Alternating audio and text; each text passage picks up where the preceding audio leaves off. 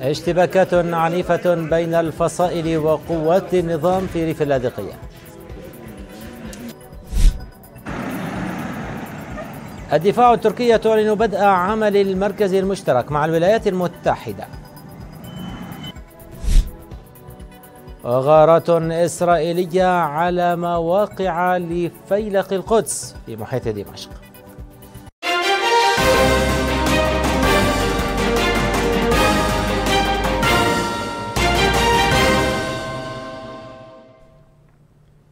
حياكم الله اينما كنتم مشاهدينا الكرام وإلى التفاصيل حيث أفاد مراسل قناة حلب اليوم في ريف اللاذقيه بمقتل العديد من قوات النظام على جبهة الكبينة جراء الاشتباكات مع الفصائل المقاتلة إثر محاولات قوات النظام التقدم في المنطقة. تبقى منطقة خفض التصعيد امتدادا من ريف حماة الشمالي مرورا بإدلب وصولا إلى الكبينة محط أنظار وارتقاب لما ستؤول إليه الأوضاع في سوريا بشكل عام على هذه التلاء المشرفة على ريف حماة وإدلب الغربي تدور أعنف المعارك لفرض السيطرة. مراسل حلب اليوم أفاد بمقتل عدد من عناصر قوات النظام وإصابة آخرين بجروح على يد فصائل الثوار إثر محاولتهم التقدم على محور تلال الكبينة بريف اللاذقية الشمالي. مشيرا في الوقت ذاته إلى وصول مجموعات تسمى بقوات البعث اللبنانية إلى جانب مجموعات من ميليشيا حزب الله إلى المنطقة. على الضفة الأخرى تواصل قوات النظام حشودها شمالي خان شيخون دون تصريح رسمي عن وجهتها. في وقت قصف فيه طيران النظام الحربي مدن وبلدات جرجناز ومعرشورين والفقيع وبابيلا والتح ومعرة حرمل وكلها تتبع إداريا لمعرة النعمان. وفي وقت يرتقب أهالي المنطقة اللقاء المرتقب بين الرئيس الروسي فلاديمير بوتين ونظيره التركي رجب طيب أردوغان في موسكو يوم الثلاثاء هددت المستشارة الإعلامية لرأس النظام بشار الأسد بثينة شعبان بأن نظامها سيتمكن من إزالة النقاط التركية في إدلب حسب قولها. ويعتبر هذا أول تصريح رسمي من قبل النظام حول مصير نقطة المراقبة التركية التاسعة.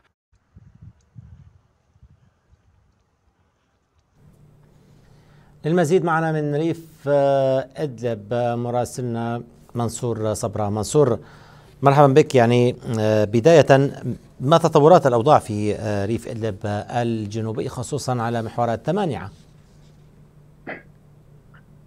نعم عمار. آه، اليوم كانت هناك محاولة من قبل قوات النظام للتقدم باتجاه بلدة التمانعة في ريف إدلب الجنوبي لكن آه، فصائل العاملة في تلك المنطقة أعلنت عن تمكنها من التصدي لهذه المحاولة.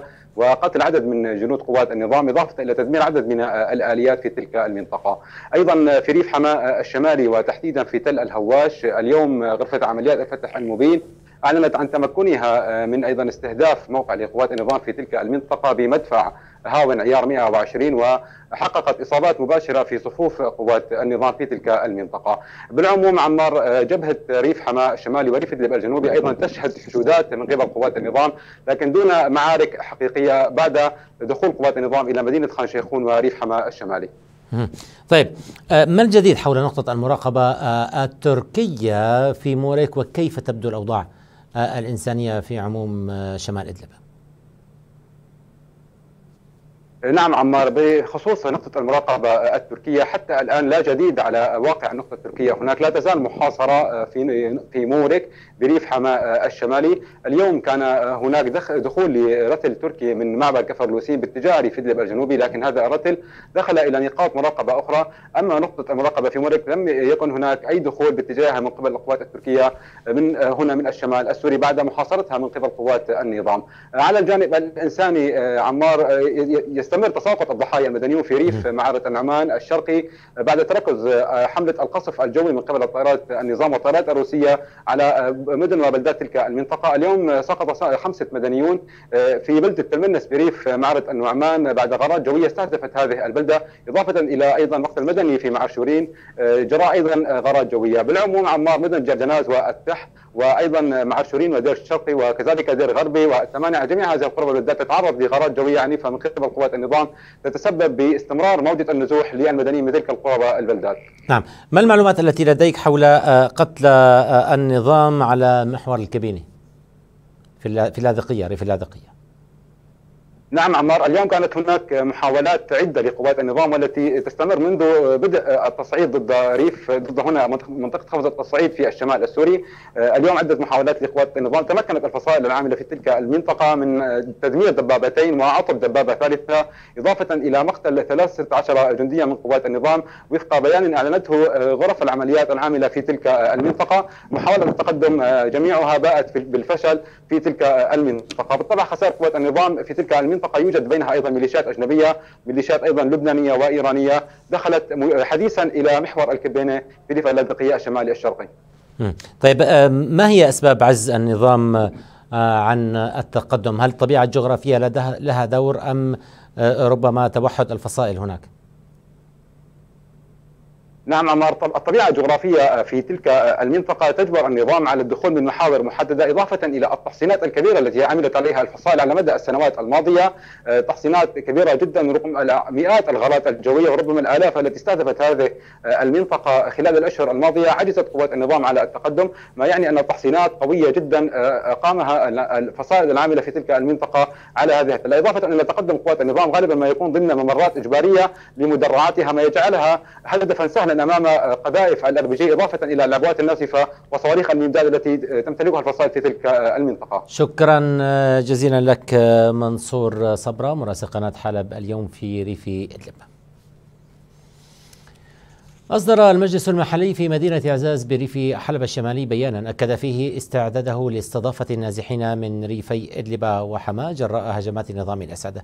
وأوضح مصدر في المكتب الإعلامي للمجلس المحلي في تصريح خاص لقناة حلب اليوم أن المجلس جهز خيما أو مخيما للإيواء بالتعاون مع إدارة المخيم وذلك لاستقبال أكبر عدد ممكن من النازحين الوافدين مضيفا أنهم ناشدوا أهالي إعزاز للوقوف مع الإخوة الوافدين. صنفت بعض دول أمريكا اللاتينية ميليشيا حزب الله اللبناني كمنظمة إرهابية دولية وجمدت أرصدة وأصولا لمموليه في حين نعى الحزب مزيدا من قتلاه في المعارك الدائرة في سوريا. من جديد حزب الله في مرمى الضغوط الدولية. هذه المرة جاءت من أمريكا اللاتينية حيث صنفت كل من الأرجنتين والبرازيل والباراغواي. حزب الله كمنظمة إرهابية دولية. السلطات الأرجنتينية أمرت بتجميد أصول أعضاء الحزب وقالت في بيان لها يواصل حزب الله تهديده للأمن وسلامة النظام الاقتصادي والمالي للأرجنتين. ولم تمض أسابيع قليلة حتى لحقت دولة الباراغواي بالأرجنتين حيث أدرجت حزب الله على قوائم الإرهاب الخاصة بها. كما اعتقلت السلطات البرازيلية منذ فترة المدعو علي أسعد أحمد بركات الذي يعد أحد كبار ممولي الحزب والداعمين له في برازيليا في إشارة واضحة إلى المسار التصاعدي تجاه إيران وحلفائها لا سيما بعد التغيير السياسي الكبير الذي شهدته البرازيل بوصول جايير بولسونارو حليف الولايات المتحدة إلى سدة الرئاسة.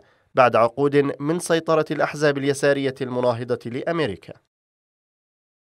الولايات المتحدة الأمريكية أثنت على لسان وزير خارجيتها مايك بومبيو على خطوات دول أمريكا اللاتينية مؤكدة أن هذه الإجراءات ستساعد في قطع قدرة الحزب على التخطيط لهجمات إرهابية وجمع الأموال من جميع أنحاء العالم. ومع التصعيد الدولي ضد ميليشيا حزب الله نعت صفحات تابعة له قتلى بينهم ما يعتبره عناصر الحزب شيخا لهم وهو المدعو محمود منير معتوق خلال المعارك الدائرة في سوريا دون الإشارة إلى مكان مقتله.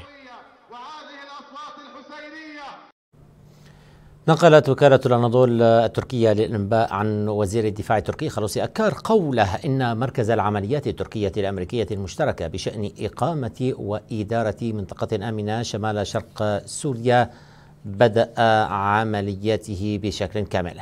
قال المتحدث باسم وزارة الدفاع الأمريكية الكوماندر شون روبرتسون إن جنرالين أحدهما أمريكي والآخر تركي قام بالفعل بأول مهمة استطلاعية جوية مشتركة فوق شمال شرق سوريا. مشاهدينا نشرتنا مستمرة وتتابعون فيها بعد فاصل قصير. غارات إسرائيلية على مواقع لفيلق القدس في محيط دمشق.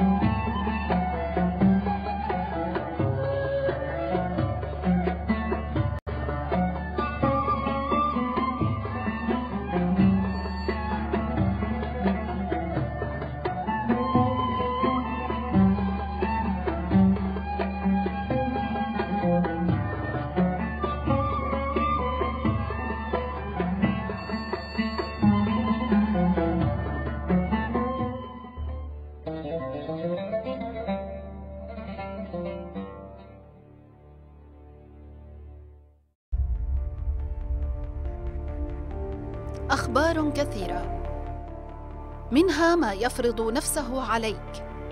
يدخل تفاصيل يومياتك وربما يغير من مجرى حياتك. في ثنايا الخبر نناقش أبرز التطورات في سوريا. ونجيب على التساؤلات التي تدور في أذهانكم. أنا حلا الخطيب أكون معكم في برنامج ثنايا الخبر. على الموعد.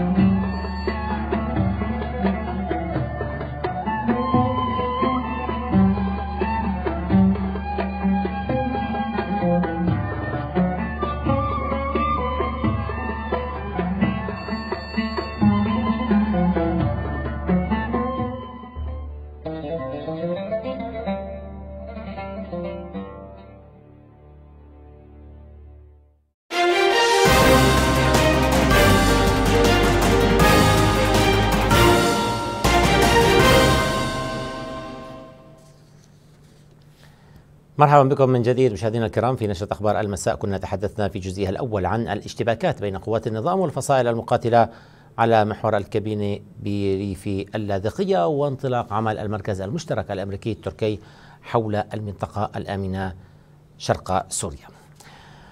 أعلن المتحدث باسم الجيش الإسرائيلي أفخاي أدرعي أن الطائرات الإسرائيلية أغارت على عدد من المواقع التابعة لفيلق القدس الإيراني في محيط العاصمة دمشق. مرة جديدة تكون المواقع الإيرانية في سوريا تحت مرمى نيران الطائرات الإسرائيلية. المتحدث باسم الجيش الإسرائيلي أفوخاي أدرعي قال في سلسلة تغريدات نشرها على حسابه الرسمي في موقع تويتر إن الجيش الإسرائيلي تمكن بواسطة مقاتلاته من إحباط محاولة إيرانية قادها فيلق القدس انطلاقا من سوريا لشن هجوم على أهداف إسرائيلية باستخدام طائرات مسيرة. أدرعي أشار إلى أن الهجوم الإسرائيلي استهدف عددا من الأهداف ومنشآت عسكرية لفيلق القدس وميليشيات إيرانية في منطقة عقربة جنوب شرق دمشق محملا إيران ونظام الأسد المسؤولية المباشرة عن العملية التي أحبطها الجيش الإسرائيلي ومتوعدا بمواصلة الجهود الدفاعية والرد على أي هجمات ضد إسرائيل. بدوره قال رئيس الوزراء الإسرائيلي بنيامين نتنياهو إن إيران لا تتمتع بأي حصانة في أي مكان وأن إسرائيل تعمل في جميع الجبهات ضد طهران ووكلائها. من جانبها ذكرت وسائل إعلام نظام الأسد أن الدفاعات الجوية تصدت لصواريخ إسرائيلية قادمة من فوق الجولان المحتل باتجاه دمشق وأسقطت معظمها. الضربات الإسرائيلية تسببت بمقتل وجرح عدد من عناصر ميليشيات حزب الله اللبناني حيث نعت صفحات موالية مقتل عنصرين من حزب الله أحدهما الابن الوحيد لعضو مجلس الإدارة في تلفزيون المنار والناطق باسم الحزب الحاج يوسف زبيب. فيما قتل عنصر إيراني جراء الغارات وفق ما ذكرت وكالة الصحافة الفرنسية.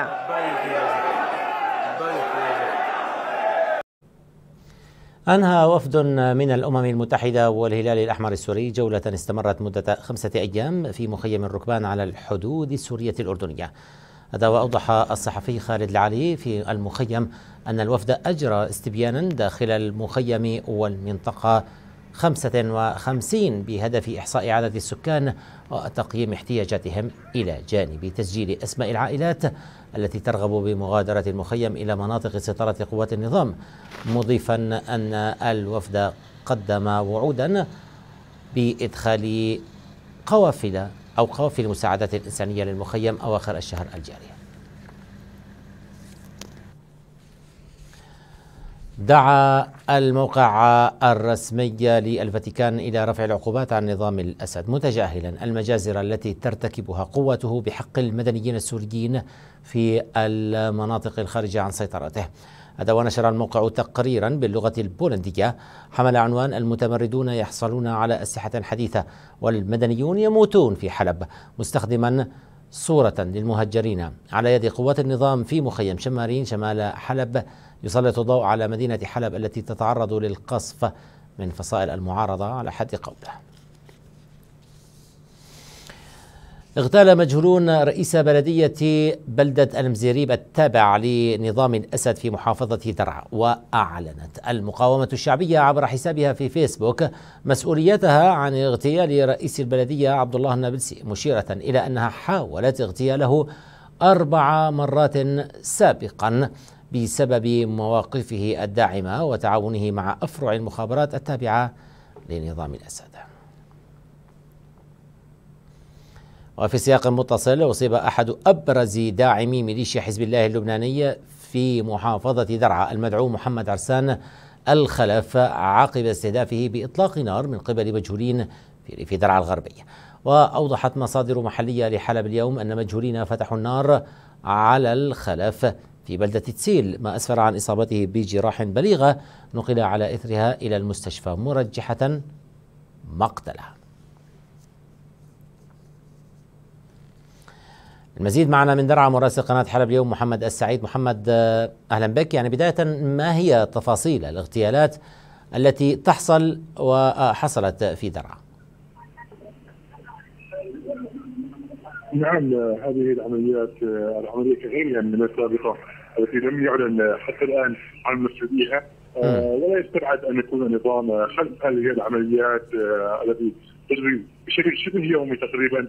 والنظام آه، يقوم بمعظم عمليات كما سابقا أن بعض الضباط والاجهزه الامنيه تعمل على زعزعه الاستقرار ودفع عن النظام إلى حملة عسكرية طيب. بشكل كامل تحت نعم.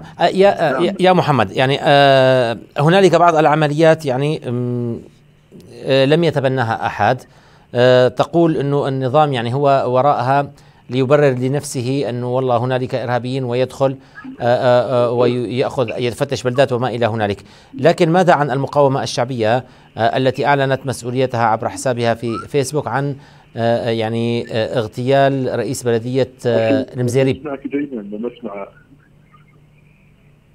طيب راح يعيد السؤال عليك تسمعني الآن؟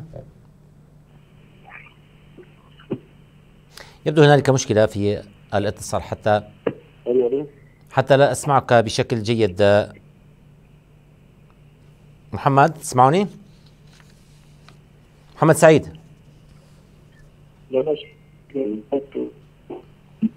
طيب آه، سنحاول العودة إلى مراسلنا محمد آه، في حال تثنى لنا آه، ذلك. نعتذر طبعا مشاهدينا الكرام عن رداءة الاتصال من المصدر. مراسلنا من درعا. محمد سعيد شكرا لك. يعاني سكان مدينة السلمية. الخاضعة لسيطرة قوات النظام في ريف حماة الشرقي من اختلاط مياه الصرف الصحي مع مياه الشرب في الحي الشرقي. هذا وأوضحت صفحة سلمية الآن. الموالية أن التلوث يمتد من كازية أم أسعد باتجاه الجنوب. في حين أفادت صحيفة الوطن الموالية بأنه شهدت في الحي الشرقي من مدينة السلمية مياه الخزانات وهي تتدفق بالشوارع وتفوح منها رائحة كريهة.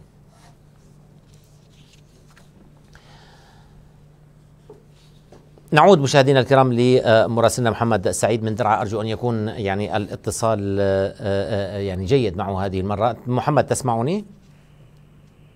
اسمعك جيدا طيب آه، قبل قليل يعني حضرتك كنت أو كنت عم تقول إنه يعني النظام هنالك عمليات يعني يكون وراءها النظام مجهولة الفاعلين ولكن ماذا عن تبني ما تسمى المقاومة الشعبية عبر حسابها بالفيسبوك اغتيال رئيس بلدية المزاريب؟ أخي المقاومة الشعبية حتى الآن لا يوجد لديها آه، غير معروفة على الأرض. ولم يعلم حتى الان ما هو من هم هذا الكيان. والاهالي في مدينه درعا يستعدون أن يكون النظام خلف هذا المسمى وهو من عمل هذه فقط الفيسبوك التابعه باسم آه، المقاومة الشعبية لزعزعة الوضع على الأرض. نعم. طيب آه، آه، كيف يبدو الوضع الآن على الأرض الوضع الأمني في درعا؟ ترقب الناس آه، الوضع الأمني بشكل خطر جدا لأن الاغتيالات اليوميه والأهالي أصبحوا يخافون من الخروج من المنازل ليلا بسبب الاغتيال الشبه اليوميه التي تستهدف أناس تابعه للنظام وحتى التابعه للمعارضه نعم. طيب آه إلى أين يتجه آه آه, أو ماذا عن يعني ما يقوم به النظام يعني في الفترة الماضية كان النظام يقوم بحملة بالاعتقالات من أجل رفض كوادره أو ما يسمى الالتحاق بالخدمة الاحتياطية هل ما زال النظام يقوم بهذه الحملات؟ النظام الآن يقوم بحملة يقوم بالتفتيش على بعض آه، الحوادث. لكن الشباب يقومون بالابتعاد آه، عن هذه الحوادث لأنها أصبحت معروفة جدا بالنسبة للشباب. لكن حملة بشكل كبير آه، لم يقوم النظام الآن. و ألو ألو. نعم أسمعك. يعني النظام لا لا يداهم البيوت ولكن يعني يتصيد على الحواجز إن صح التعبير من أجل التجنيد الإجباري. نعم في لم يقوم النظام بخمس دهم واعتقال من المنازل منذ فترة زمنية طويلة لكن في حال وقع الشاب بين يدين الحادث يقوم باعتقاله واقتياده للافوع الامنيه أو إلى الخدمة العسكرية فورا. أشكرك جزيل الشكر من درعا مراسل قناة حلب اليوم محمد سعيد وأعتذر مرة أخرى مشاهدينا الكرام عن رداءة الصوت من المصدر. تعاني غالبية المناطق الشرقية لدير الزور شرق الفرات من غياب القطاع التعليمي ودمار كبير طال مختلف المدارس تشهد أطلال ما تبقى من مدارس في ريف دير الزور الشرقي على ضراوة ما تعرضت له المنطقة من قصف ومعارك. معارك كان لها أثر مباشر في إيقاف المسيرة التعليمية في المنطقة لفترات طويلة وحرمان مئات الأطفال من حقهم في التعليم. إحنا نشكي من التعليم ما أبي تعليم. مدارس موجودة. جيل صار له تسع سنين عشر سنين ما بي مدارس خالص. يعني هالجيل هذا انعدم خالص. يعني إذا ما تسعفون العالم والشيء هذا يعني راح الجيل هذا كلياته يعني راح ينقرض خالص. هنا في قرية السوسة أقصى شرق نهر الفرات يشتكي الأهالي من إهمال العملية التعليمية. وبالرغم من مرور أشهر على سيطرة قوة سوريا الديمقراطية على المنطقة فإن التحركات باتجاه إحياء التعليم في المكان تكاد تكون معدومة وفقا لأهالي المنطقة باستثناء مبادرات فردية لمعلمين متطوعين يحاولون فيها ترميم المدارس المهدمة لاستقبال الموسم الدراسي الذي سينطلق قريبا. فريق تطوعي ومعلمين متطوعين في مجال التعليم بادرنا آه، لما لاحظناه من آه، من جهل لدى الأطفال بسبب الحروب من تسع سنوات أو عشر سنوات فبادروا مجموعة من المعلمين المتطوعين لإخراج الأطفال إلى من الجهل إلى النور. اثر سلبية خلفها غياب التعليم عن المنطقة منها بلوغ بعض الأطفال لأعمار كبيرة دون أن يتقنوا مهارات القراءة والكتابة ما دفع بعض الأهالي ميسوري الحال لإرسال أبنائهم إلى مناطق تنشط فيها العملية التعليمية خارج المحافظة وسط مطالبات لفئات أهلية أخرى بتحسين القطاع التعليمي. مشاهدينا نشرتنا مستمرة وتتابعون فيها أيضا لكن بعد الفاصل. حبة دواء واحدة للوقاية من الأزمات القلبية والسكتات الدماغية.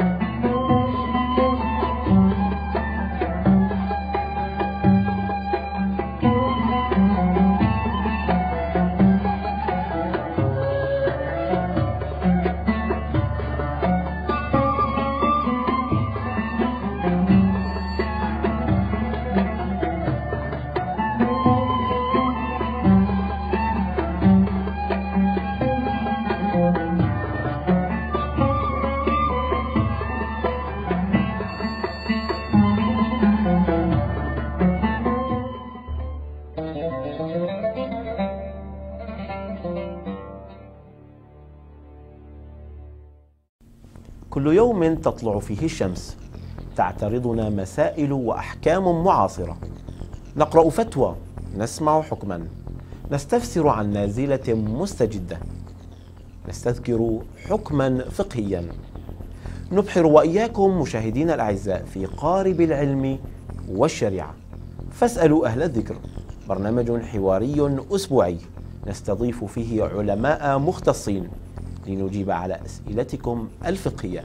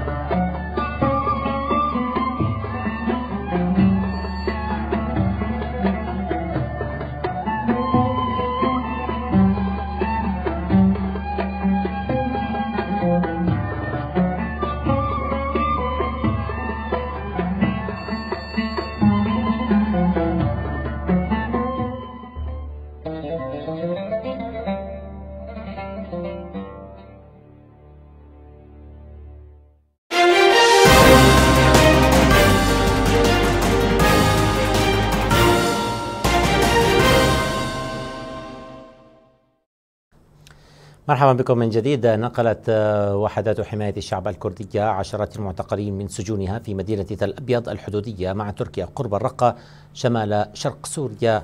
وقال مصدر في وحدات حماية الشعب الكردية بتصريح لوكالة سمارت إنهم نقلوا نحو 30 معتقلا من سجون تل أبيض إلى سجونهم في بلدة عين عيسى دون أن يذكر سبب نقلهم أو هوية المعتقلين والتهم الموجهة إليهم.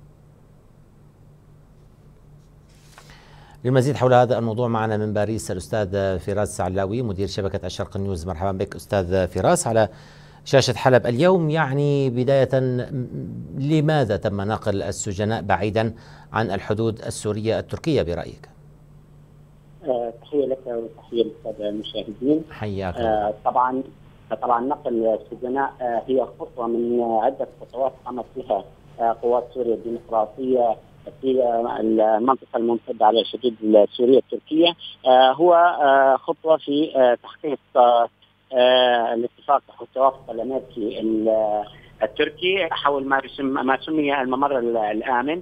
الآن تقوم قوات سوريا الديمقراطية بنقل مقراتها سواء كانت سجون أو مقراتها العسكرية آه، حسب الخرائط التي تم التوافق عليها ما بين الأمريكان والأتراك والتي لم يتم الافصاح عنها حتى اللحظة. آه، هناك انسحابات أيضا لعدد من القطع العسكرية التابعه لقوات سوريا الديمقراطية من محيط تل أبيض ومحيط رأس العين أيضا. اذا نقل السجناء يأتي ضمن هذه هذه الخطوات التي تعمل على تحقيق ما توصل إليه الامريكان والأتراك من توافقات نعم.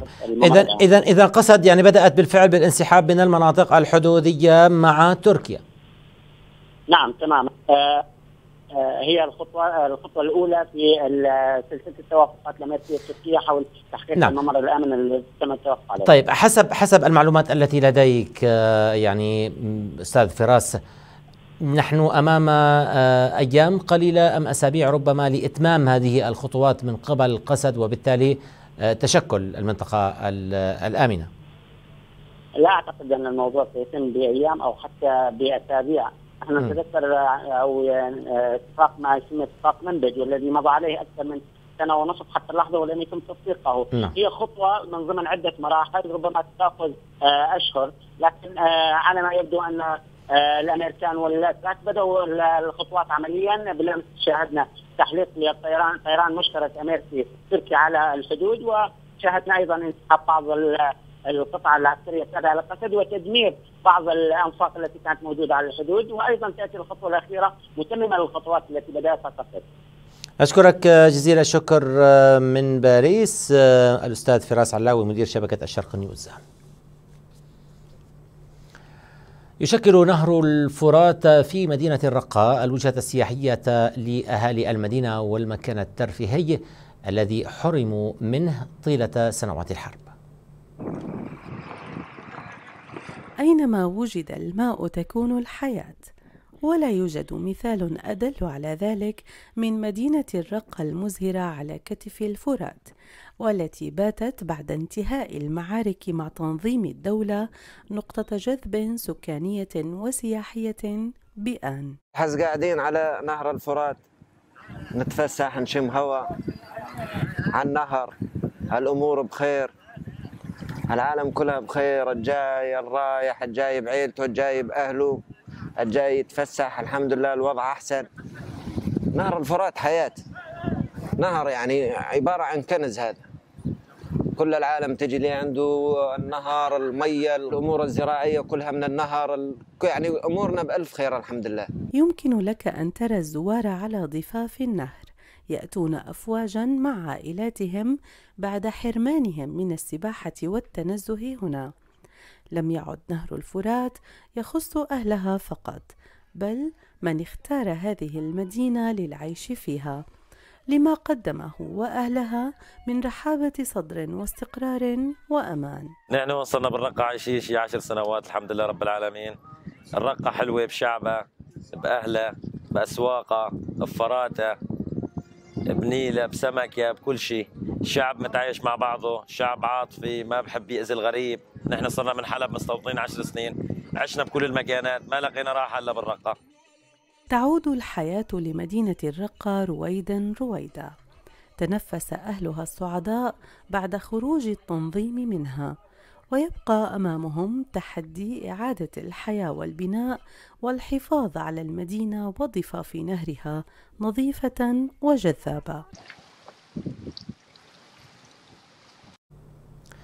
ذكرت صحيفة راينشي بوست الألمانية أن لاجئا سوريا وصل إلى ألمانيا قبل أربع سنوات. لم يمنعه فقدان أو فقدانه لذراعيه من الحصول على عمل مناسب والمشاركة في مشاريع داعمة لذوي الإعاقة. وقالت الصحيفة إن الشاب السوري محمد البلخي وصل إلى ألمانيا قادما من دمشق. حصل مباشرة على تدريب كمصمم وسائل رقمية وطباعة في شركة ألمانية. وأوضحت الصحيفة أن الشاب لا يجد أي مشاكل في التعامل المباشر مع العملاء ويقبل رغباتهم وطلباتهم. أثارت قصيدة كتبتها لاجئة سورية تبلغ من العمر 14 عاما في بريطانيا أثارت جدلا واسعا حول كفاءة نظام التعليم مقارنة مع ما حصلت عليه من علامات متدنية في شهادة التعليم الثانوية. هذا وأعربت كايت كلانشي وهي معلمة طالبة فتون عن غضبها من حصول الطالبة على علامات متدنية معتبرة أن امتحانات شهادة الثانوية العامة الجديدة في بريطانيا تمنع التعبير عن المواهب الأدبية والاستخدام الخيالي للغة. في حين أعلن العديد من الأساتذة عن استخدام القصيدة في الدروس التي يعطونها داخل الصف. شام الطفلة الصغيرة التي نجت مع أفراد عائلتها من تفجير طال سيارة والدها بعبوة ناسفة في مدينة تركمان بارح بريف حلب الشمالي ما تزال تداوم على زيارة قبر والدها. تنادي والدها لكن لا مجيب على صوتها البريء. شام الطفلة الصغيرة التي نجت من تفجير أودى بحياة أبيها طالب حجازي في بلدة تركمان بارح شمال حلب. التفجير لم يستهدف أباها وحسب بل أصيب جميع أفراد العائلة الذين كانوا داخل السيارة. توفي الأب وأصيبت الأم وأطفالها الأربعة بمن فيهم شام الصغيرة. أطفال صغار ناس بالمشفى ناس بالبيت ناس مصوبة. يتموا الأطفال. إيش ذنب أبوهم يقتلوه؟ حزب البي كي فجر فيه بيكاب وهو مع أولاده ومرته وأولاده اثنين بالمشفى وهو دفناهم وبدون أي ذنب. هي سيارة أبيها التي كانت تقل العائلة كاملة يوما ما قبل التفجير. لكنها باتت شاهدة على جريمة طالت مدنيين. أصابع الاتهام في العملية وجهت إلى وحدات حماية الشعب الكردية. طالب حجازي الذي ينحدر من مدينة منغ كان يشغل منصب مسؤول قسم البرقيات في ديوان فرع الشرطة العسكرية بمدينة عزاز هاي أولاده كانوا معه في ولدين بالمشفى وبيت أحماه وعائلته وفجروا البيكاب فيه. طيب عم تفجر إرهابي أو بدراء إرهابي هدول الأطفال إرهابيين. هدول إرهابيين. عشرات التفجيرات بعبوات ناسفة ودراجات وسيارات مفخخة ضربت الريف الشمالي والشرقي لحلب في الآونة الأخيرة. أكبرها كان في وقفة عيد الفطر بمدينة عزاز. المدنيون الهدف الأبرز في تلك التفجيرات.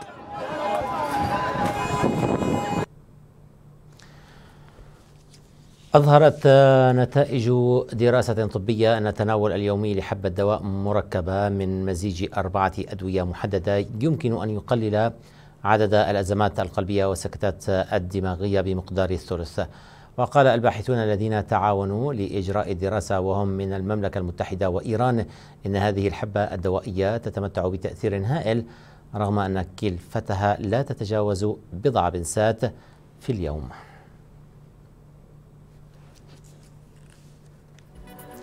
نهاية النشرة وهذا تذكير بأهم العناوين اشتباكات عنيفة بين الفصائل وقوات النظام في ريف اللاذقية.